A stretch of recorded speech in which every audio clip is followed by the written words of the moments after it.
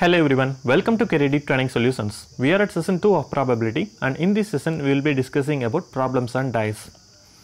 A die is a cube shaped structure and contains 6 spaces numbered from 1 to 6.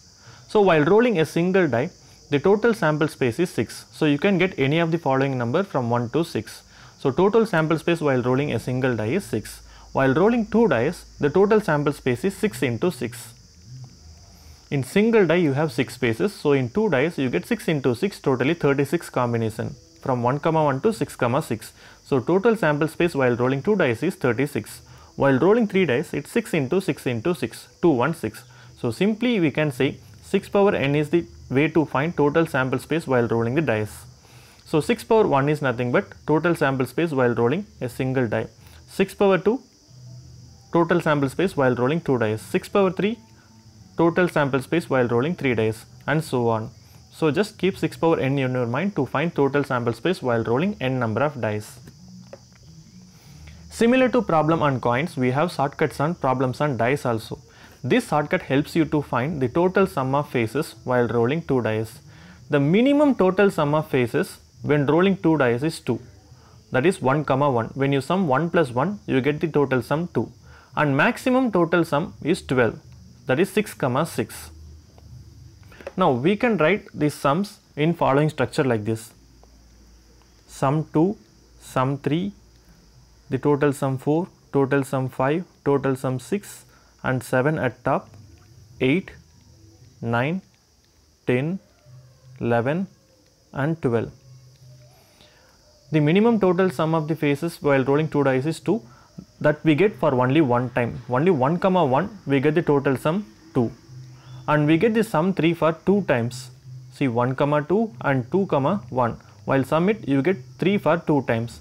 And you get the sum 4 for 3 times and sum 5 4 times and sum 6 5 times and sum 7 for 6 times. And you have to write the numbers in descending order from 8 to 12 and sum 8 for 5 times and sum 9 4 times sum 10 3 times sum 11 for 2 times see sum 11 in the sense it's 5 comma 6 and 6 comma 5 and sum 12 for only one time. Now based on this we try to solve a problem.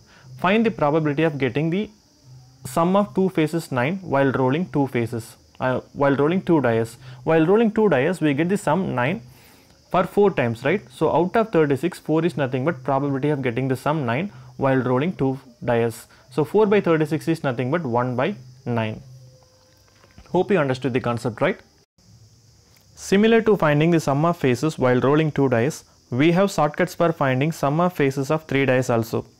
The minimum total sum of faces while rolling 3 dice is 3 that is 1 comma 1 comma 1 when you sum 1 plus 1 plus 1 you get the sum 3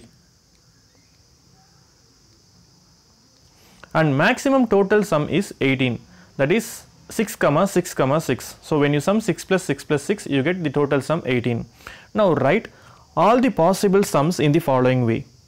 3 you get the sum 3 4 5 6 7 8 9 10 11 12 13 14 15 16 17 and 18 now you get the sum 3 for only one time and sum 4 for 3 times and sum 5 for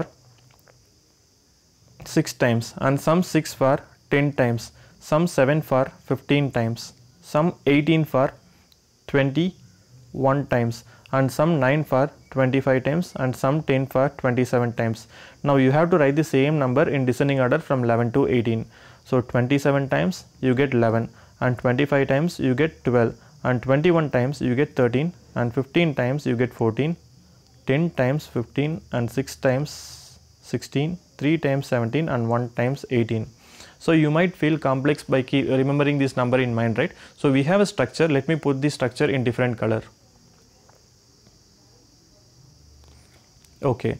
See 1 plus 2 you get 3 3 plus 3 you get 6 6 plus 4 you get 10 10 plus 5 you get 15 15 plus 6 you get 16 from 1 to 21 the number is increasing in ascending order 2 3 4 5 and 6 after 21 you have to subtract 2 from 6 so if you subtract 2 from 6 you get 4 so 21 plus 4 you get 25 again 2 from 4 so 4 minus 2 you get 2 plus 2. So 25 plus 2, 27. So you have to write the number in descending order from 11 to 18 in this way. So 21 to 27 to 1. You have to write the number in descending way. So based on the concept discussed, we try to solve a problem. Find the probability of getting the sum of faces 13 while rolling 3 dice. While rolling 3 dice, the total sample space that we get is 6 power 3. So 6 power 3 is nothing but 216 and the total probability that we get is that is total number of event that we get is 21 so we get 13 for 21 times while rolling 3 dice so 21 by 216 is nothing but probability of getting the sum 13 while rolling 3 dice hope you understood the concept right now based on the concept discussed we try to solve some problems our first question in a simultaneous throw of a pair of dice find the probability of getting a total more than 11 7 so while rolling 2 dice, the total sample space that we get is 6 power 2, 36. So 36 is total sample space, number of sample space. Now the number of even that we want is getting a total more than 7. So you have to find the sum which is more than 7 while rolling 2 dice.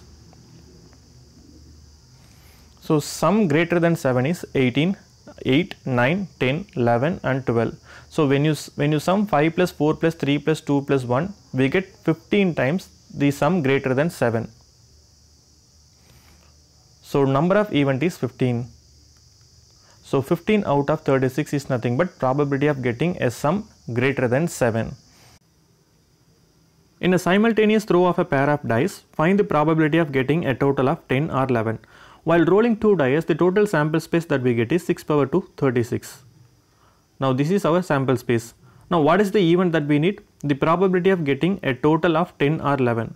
The probability of getting a sum of 10 or 11. Now in previous triangle we discussed we get the sum 10 for 3 times and sum 11 for 2 times. Now whenever we have the word or we have to sum it. The same we discussed in permutation and combination and when we have the word and you have to multiply it. So here you have to find the probability of getting a sum of 10 or 11. So 3 plus 2 you get 5. So 5 is nothing but the total number of even that we need. So 5 out of 36 is nothing but the probability of getting a total of 10 or 11 while rolling through 2 dice. Hope you understood the problem right. Moving to our next question. In a simultaneous throw of 5 dice, find the probability of getting all faces same. While rolling 5 dice, the total sample space that we get is 6 power 5. Now you have to find the probability of getting all faces same. So all faces same in the sense you have to get the same number on all the faces. That is 1 comma 1 comma 1 comma 1 comma 1 up to 6 comma 6 comma 6 comma 6 comma 6. So 1 comma 1 comma 1 comma 1 comma 1 2 comma 2 comma 2 comma 2 until that 6 comma 6 comma 6 comma 6. We totally have 6 chances. So number of events that we actually required is 6. So 6 out of 6 power 5 is nothing but the probability of getting all the faces same while rolling 5 dice simultaneously.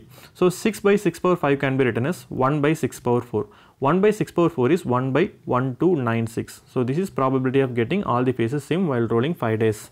Hope you understood the problem right. Moving to our next question. What is the probability of not getting a 5 when 3 dice are rolled together? Dice 1, dice 2 and dice 3. Now what is the probability of not getting a 5 in first dice?